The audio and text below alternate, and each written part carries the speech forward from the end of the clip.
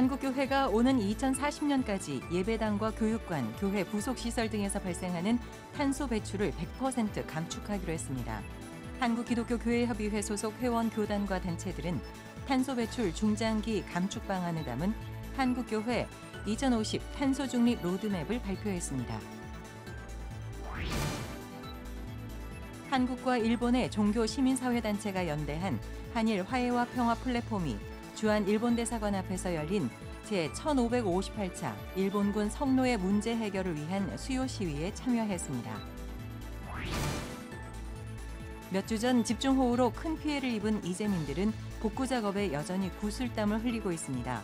각 교단들도 피해를 입은 소속 교단 교회들을 위해 긴급 지원에 나서 복구 활동을 계속하고 있습니다. 각 지역 교회의 선한 사역을 소개하는 우리 동네 우리 교회. 오늘은 온 성도가 일상 속의 예배자로 살아가며 다시 교회로, 다시 예배로 회복돼 가고 있는 경기도 고양시 하늘빛 광성교회를 취재했습니다. 시청자 여러분 안녕하십니까? CBS 뉴스입니다. 한국교회가 오는 2040년까지 예배당과 교육관, 교회 부속 시설 등에서 발생하는 탄소 배출을 100% 감축하기로 했습니다.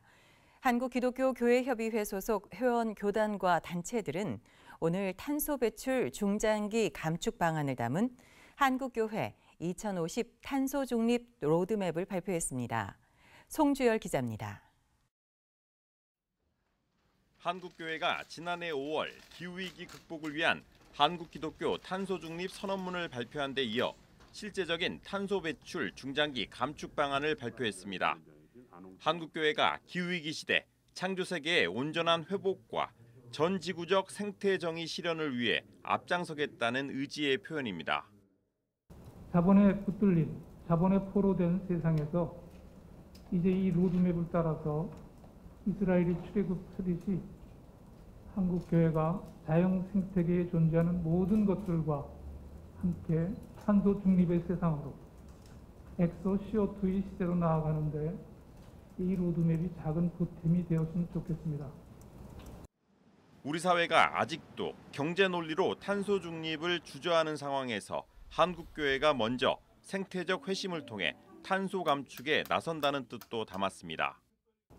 탄소 중립의 길은 생명 평화의 길입니다.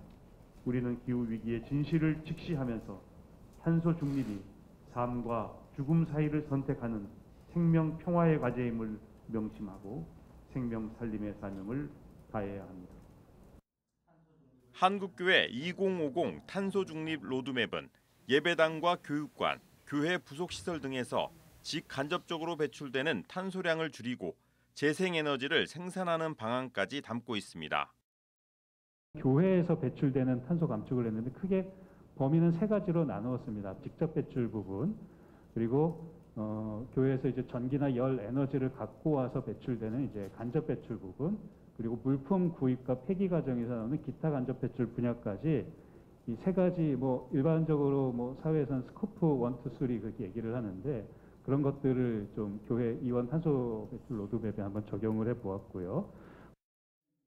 한국교회 탄소 중립 로드맵 준비위원회는 우선 오는 2023년까지 탄소 직접 배출 에너지 사용 현황을 파악하고 적정 사용 계획을 수립할 예정입니다.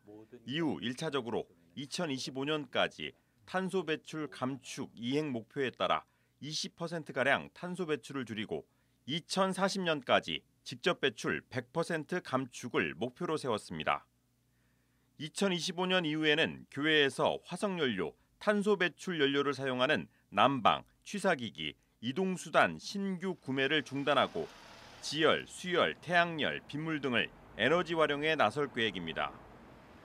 아울러 로드맵 준비위원회는 탄소 헌금을 통해 한국교회 재생에너지 생산 기금을 조성하고 한국교회 에너지 협동조합을 설립해 한국교회 전반에 걸쳐 탄소 중립 로드맵 실천이 지속 가능하도록 도울 방침입니다.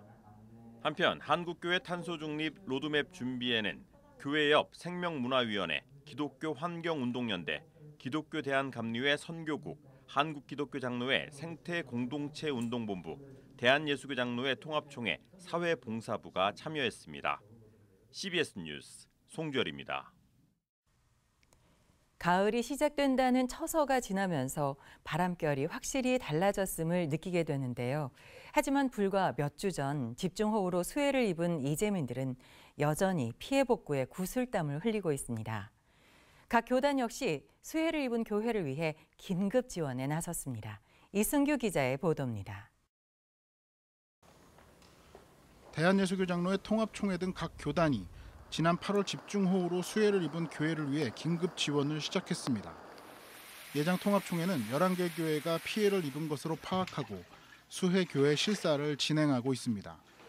일단 피해 규모를 확인한 뒤 지원액을 결정한다는 방침입니다.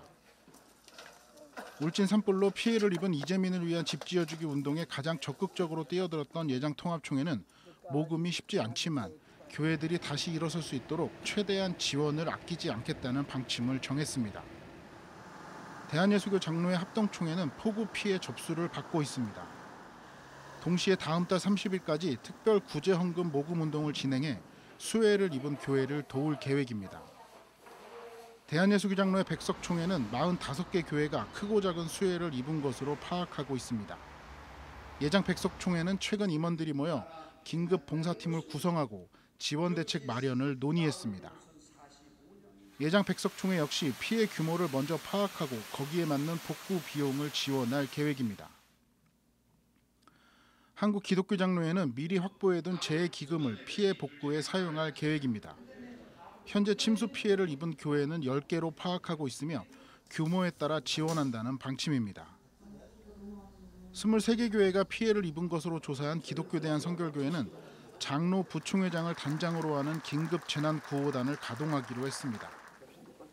기독교 대한 감리회는 이철 감독회장이 피해 교회를 직접 찾아 긴급 지원금을 전달했고 서울 얌년에는 복구 지원금 2천만 원을 마련해 지원을 시작했습니다.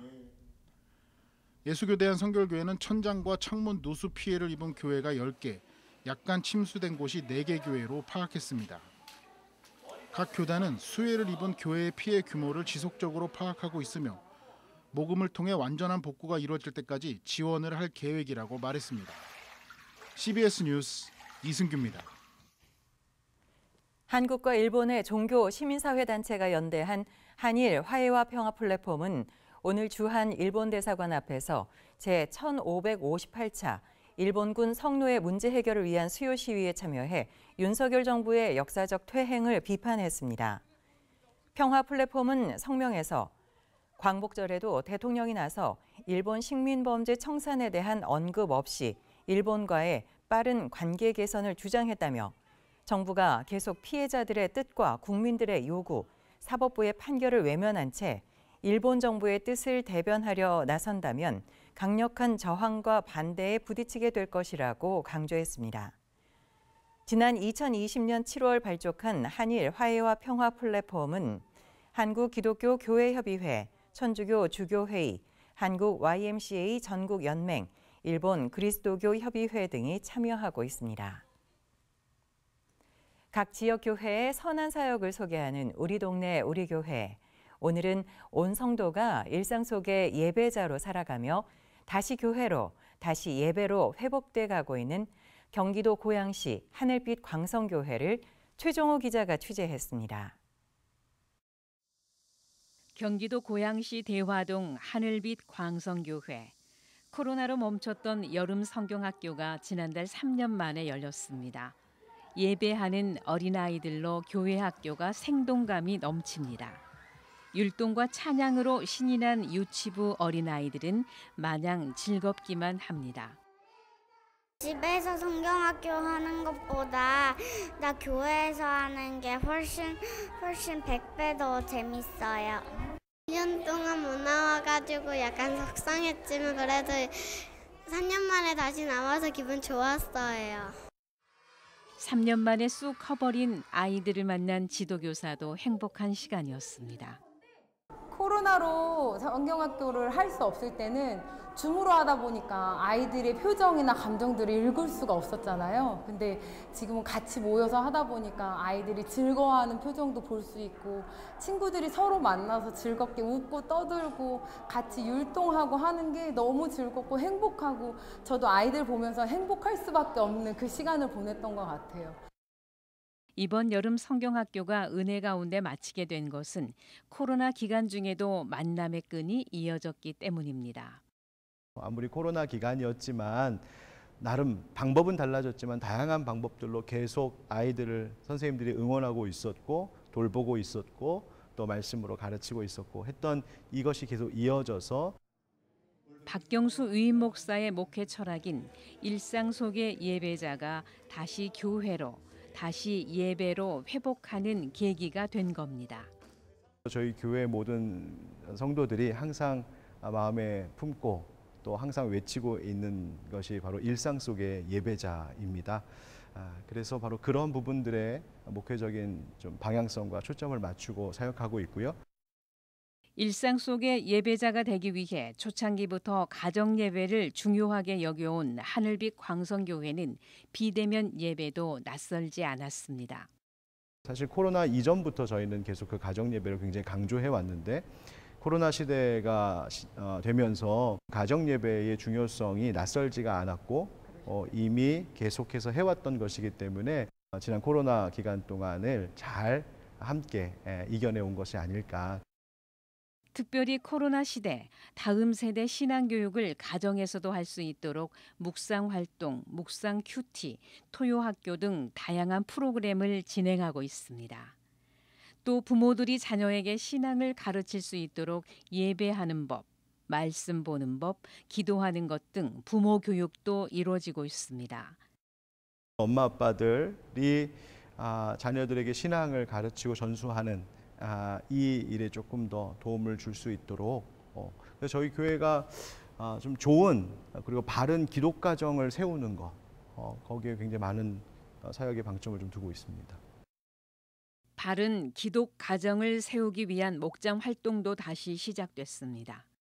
일단은 교회가 되게 활기찬 느낌이고 계속 새로운 아이들도 많이 태어나고 부부들끼리 부부들끼리 느낄 수 있는 그런 어려움들 서로 나누면서 함께 은혜 받는 것 같습니다.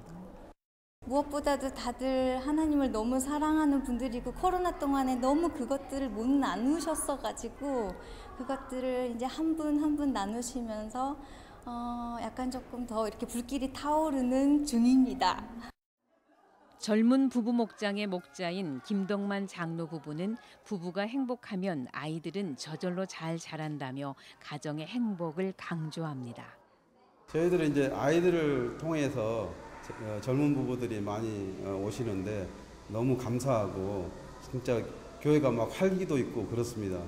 부부가 행복하면 아이는 저절로 잘 자라다 잘 자라더라고요. 그래서 그런 부분에 둘 다 이제 목장 예배에서 일단 하나님 사랑을 부부가 잘 깨닫고 그 깨달은 사랑으로 또 아이들을 잘 양육하는 그런 이제 목장으로 젊은 교회라고도 불리는 하늘빛 광성교회의 그 젊음은 무엇일까? 젊은 교회 뭘까? 젊은 교회라고 하는 것은 그냥 단순히 나이가 젊은 사람들, 뭐 청년들, 젊은 가정들이 많다고 해서 젊은 교회인 것 같지는 않아요. 아, 나이가 많아도 또 모든 세대가 하나님 주시는 젊은 꿈을 꾸는 교회가 젊은 교회인 것 같아요. 젊은 사람들이 많이 모인 교회가 아니라 젊은 꿈을 꾸는 교회.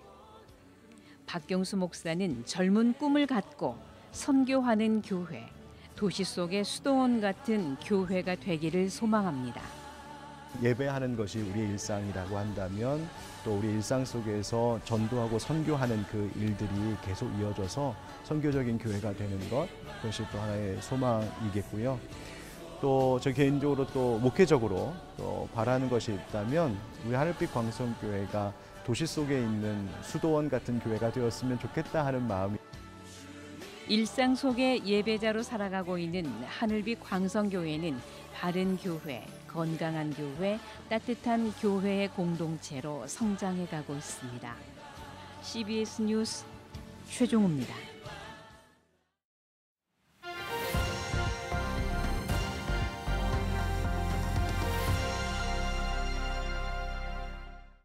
간추린 지역교계 소식입니다. 라이프호프 자살예방센터와 예장통합 전남노회가 함께 목회자 세미나를 열었습니다. 예장합동 순천노회는 화합 감사 예배를 가졌습니다. 라이프호프 기독교 자살예방센터 광주 전남지부와 예장통합 전남노회는 교회 내 자살 예방을 위한 목회자의 역할을 주제로 목회자 세미나를 열었습니다. 세미나에선 광주 동구 한마음터 신만식 센터장과 라이프호프 기독교 자살 예방센터 조성돈 대표가 발표자로 나서 자살 시도자와 자살 유가족을 위해 교회에서 할 수 있는 것들과 생명을 살리는 공동체 교회란 주제로 각각 발표했습니다. 라이프호프 광주 전남지부 이사장 강성열 호남신대 교수는 그리스도인들은 하나님의 청지기로서 자살 예방과 생명 문화를 펼치기 위한 교육이 필요하다고 강조했습니다. 이번 세미나를 계기로 해서 우리 목회자들이 생명의 소중함을 다시금 깨닫고 어, 생명을 지켜나가는 일에 앞으로 계속해서 함께 노력해 나가기를 간절히 바랍니다. 2022 영남 목회 아카데미 1차 세미나가 영남신학대학교 이상근 기념관 정류홀에서 열렸습니다. 특별히 최근에 교회를 건강하게 성장시키는 데 도움이 될 만한 신학들을 저희들이 잘 엄선하고 위기를 기회로 바꾸는 리더십 양성의 요람 이런 주제를 가지고 저희들이 목회자들을 섬기려고 합니다. 많은 관심과 기도를 부탁드립니다. 이번 세미나엔 대한성서공의 김진삼 박사와 영남신대 김한성 교수가 강사로 나서 강의를 진행했습니다. 지난 3년 동안 둘로 나눠졌던 예장합동 순천노회가 창립 100주년을 맞아 강남중앙교회에서 화합 감사 예배를 드렸습니다. 예배에서 예장합동 총회장 백광식 목사는 순천노회에서 벌어진 징계는 무효이며 다시 하나로 합쳐졌음을 공포했습니다.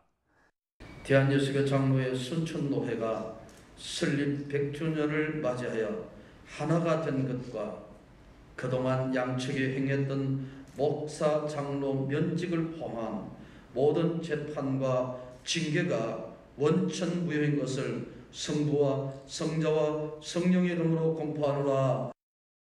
화합으로 새롭게 시작한 순천노 회장엔 광양동명교회 박선홍 목사가 취임했습니다.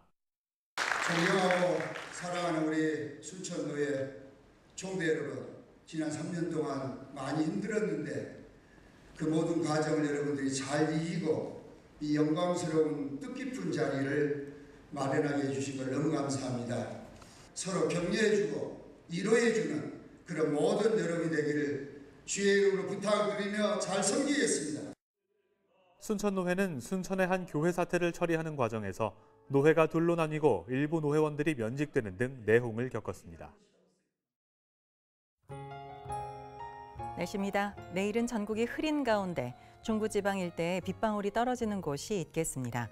내일 아침 최저 기온은 19도에서 23도, 낮 최고 기온은 25도에서 30도로 예상됩니다. 이상으로 CBS 뉴스를 마칩니다. 시청해주신 여러분 고맙습니다.